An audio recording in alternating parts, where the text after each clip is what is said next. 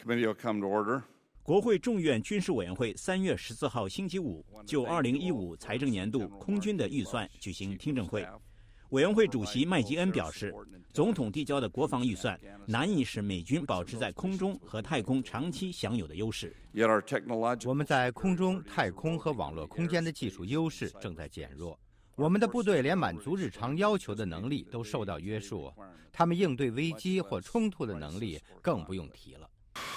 五角大楼向国会递交的二零一五财年国防预算额的空军部分是一千零九十三亿美元，比空军原本提出的预算额减少近七十亿美元。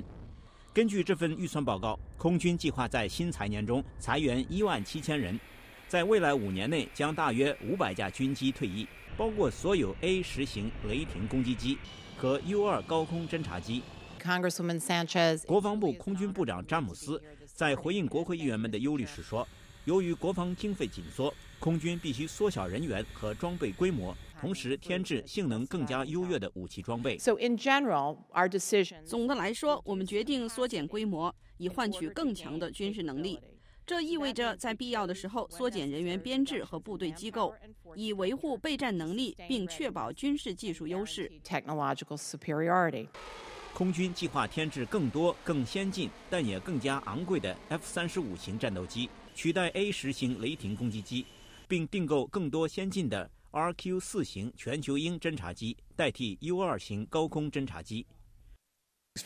众院军委会成员惠特曼在听证会上说，中国空军正积极提升反介入和区域阻隔能力，威胁到美军应对武装冲突的能力。前进二十公分。他质问空军参谋长威尔什是否放心美军做好了准备应对这种威胁。威尔什说，他一点也不放心。